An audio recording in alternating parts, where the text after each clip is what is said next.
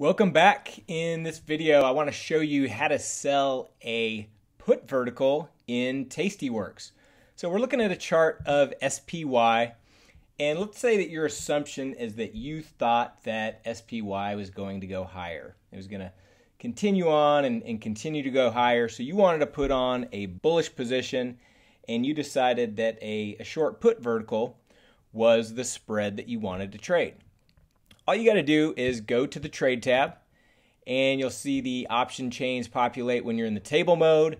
We always want to stay in the monthly option cycles. They're the most liquid and just for consistency, they are uh, annotated by the bolder white and you can see the, see the weeklies and quarterlies have a note next to them with a W or a Q. So the, the monthly cycle with between 30 and 60 days where we like to put the trades on you can see the April 20th in this case have 38 days to expiration. Simply open those up and it brings up the option chain. So then what we're going to do is we want to sell a put vertical. So a couple different ways to do that. You can piece it together by simply clicking on the bid and the ask. Remember on the put side, these are the in the money options below this line, and these are the out of the money options above this line. So when we're selling a put vertical, we typically like to start out of the money. So let's say we looked at the 275 strike and we simply wanted to sell the 275 and then we wanted to buy strikes five points away. So we'd look at the 270 and then we'd click on the ask to buy it. The red outline always indicates you're selling, it also says S, and then the green outline represents buying or B1.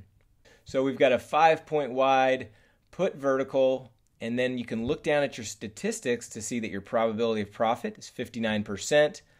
Probability of making 50% is 82%.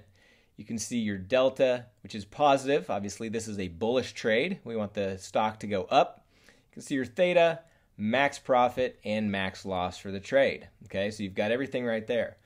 The other way to do this, if we clear that out, is to use your strategy dropdown.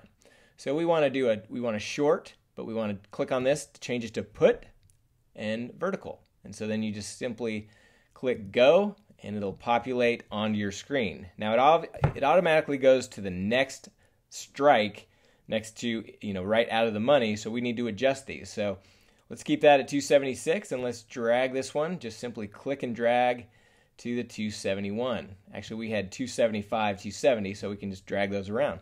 And there it is. It's that easy and you can see the statistics down below are exactly the same. Now you can go ahead and review and send that directly to the broker to get filled, or if you're like me, I'm a visual trader, I want to look at the curve mode and then click on the analysis, and that'll give you the visual perspective of the trade. So you can see here as you as you scroll along the green area up in the flag, you can see your profit and loss at expiration, which is the same as your max profit. And then as you scroll along to the red, you can see your P&L at expiration, which is obviously negative. That's when you would start to lose money on the trade. So you've got everything right here. All the statistics are still down here below. If you decide you want to change your strikes, you don't go, have to go back to the table view. You can actually just click and drag on these tiles right here, and that'll adjust your potential profit, potential loss, give you an idea of your probabilities and you can just simply click and drag those from there until you get the desired you know P&L and risk reward that you're looking for on the trade. Once you're done and ready to go, simply hit review and send. Send that into the broker to get filled and you're all set. Hope that was helpful in showing you how to trade a short put vertical in Tastyworks. See you in the next lesson.